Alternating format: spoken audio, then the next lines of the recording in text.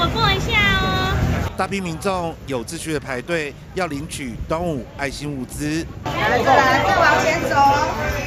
志工们忙着分配物资，有面条、饼干、泡面等，其中每一户都可以领到端午肉粽，让民众袋子装得满满的。今天是薄荷关怀协会所举办的这个端午送肉粽以及物资的公益的活动。那我们希望可以透过这样的活动，传递给我们一些帮助的家庭，可以过到端午节的气息。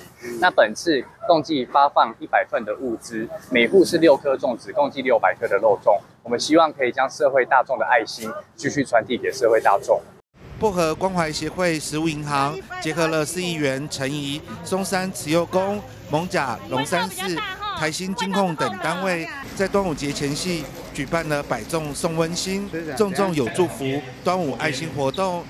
总计有一百户新义区的边缘家庭受惠。薄荷关怀协会长期照顾我们基隆市的低收户。那今天有一个百众送温馨、重重有祝福的活动，然后也邀请了所有我们基隆市的需要帮助的家庭来领物资跟粽子。那非常感谢薄荷关怀协会长期照顾我们基隆市的低收户。